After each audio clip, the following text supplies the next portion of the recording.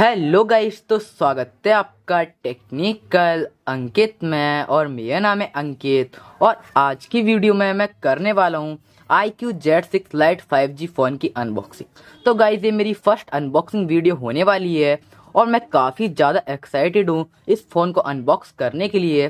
तो गाइज़ अगर आपको वीडियो पसंद आए तो वीडियो को एक लाइक कर देना एंड देन चैनल पर नए हो तो चैनल को भी सब्सक्राइब कर देना। तो चलिए वीडियो स्टार्ट करते हैं।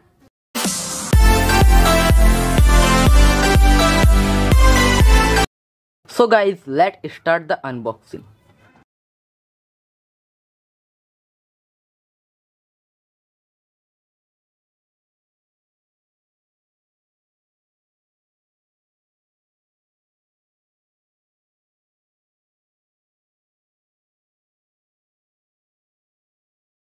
तो गाइज़ हमें सबसे पहले बॉक्स में एक केस देखने को मिल जाता है, जो कि हमारे फ़ोन का केस है और ये एक डिसेंट क्वालिटी का केस है। एंड देन हमें इस बॉक्स में कुछ डॉक्यूमेंटेशन देखने को मिल जाती है फ़ोन को यूज़ करने के लिए, जिन्हें कोई नहीं पड़ता एंड देन गाइज़ हमें इस बॉक्स में यूएसबी टाइप सी केबल देखने को मिल जाती है अपने फ़ोन को चार्ज करने के लिए एंड देन हमें सिम इजेक्टर टूल मिल जाता है सिम ट्रे को बाहर निकालने की। जी हाँ गाइज़ आपको इस बॉक्स में चार्जर देखने को नहीं मिलता है, क्योंकि IQ वाले चार्जर प्रोवाइड नहीं करते हैं इस फ़ोन के साथ। तो आपको चार्जर बाहर से ऑर्डर करना पड़ेगा, या बाहर की दुकान से परचेज करना पड़ेगा। तो गाइज़ इसका चार्जर 18 वोल्ट का आता है। तो गाइज़ अब रखते हैं इन सबको साइड और बात करते हैं हमारे फ़ोन की।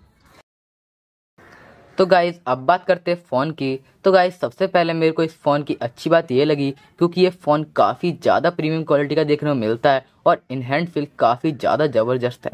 और ये फ़ोन आपके हाथ में पूरी तरीके से स्टेबल रहेगा, क्योंकि आपको इस फ़ोन के पीछे की साइड पॉलीकार्बोनेट बैग देखने को मिल जाता है, जो कि साथ ही साथ स्क्रैच फ्री भी है।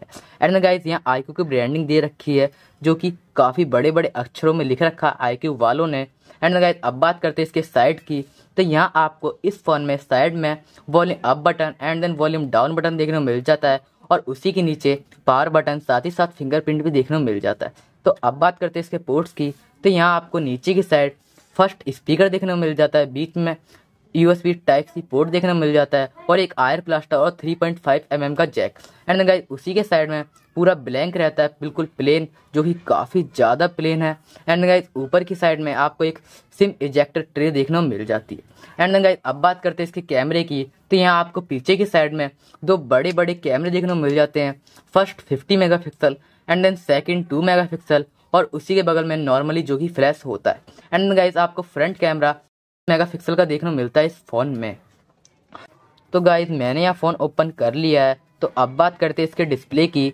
तो आपको इस फ़ोन में एक बिग साइज़ की डिस्प्ले देखने को मिल जाती है, जो कि 6.58 इंचेस की full H D plus L display है। और गाइज़ आपको इस फ़ोन में थोड़े से बेजल देखने को मिलते हैं कॉर्नर में, जो कि इस प्राइस रेंज में नहीं होने चाहिए थे बट इट्स ओके और गाइज़ आपको इस डिस्प्ले की क्वालिटी काफ़ी ज़्यादा अच्छी देखने को मिलती है इस फ़ोन में।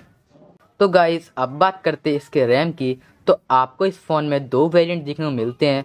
First four plus sixty four G B and then second six plus one twenty eight G B तो गाइज़ मेरे पास यहाँ six plus one twenty eight G वाला वेरिएंट अवेलेबल है। और गाइज़ आप इस फ़ोन में दो जी तक भी एक्सटेंड कर सकते हो। तो गाइज़ आपको इस फ़ोन में वन ट्वेंटी हर्टेज का रिफ्रेश रेट देखने को मिल जाता है, जो कि काफ़ी ज़्यादा स्मूथ है। एंड देन यूज़ करने में काफ़ी ज़्यादा अच्छा लगता है। तो गाइज़ आपको इस फ़ोन में out of the box Funtouch O S twelve update देखने को मिलता है और गाइज़ आगे आपको इस फ़ोन में थ्री ईयर्स के मेजर एंड्रॉयड अपडेट देखने को मिलेंगे।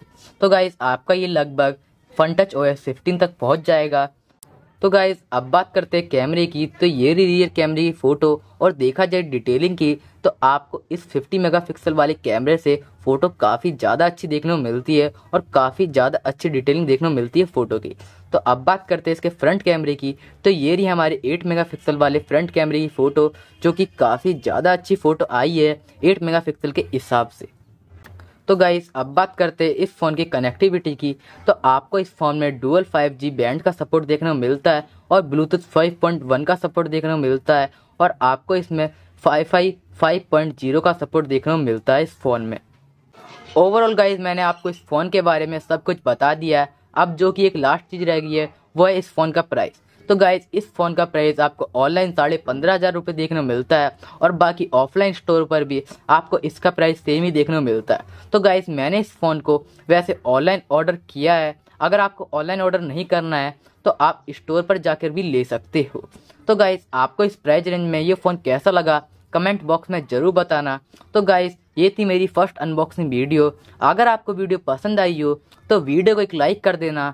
एंड देन चैनल पे नहीं हो तो चैनल को भी सब्सक्राइब कर देना और साइड में बेल आइकन को प्रेस ज़रूर कर देना ताकि आपको मेरी अगली वीडियो की नोटिफिकेशन सबसे पहले मिल जाए।